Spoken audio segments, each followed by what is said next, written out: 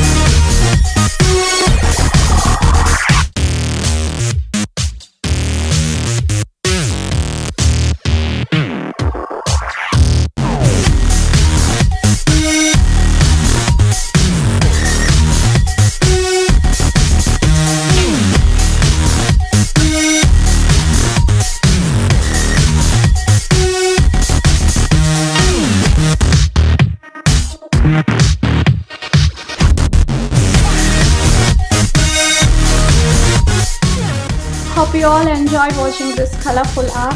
Thank you for watching. Bye.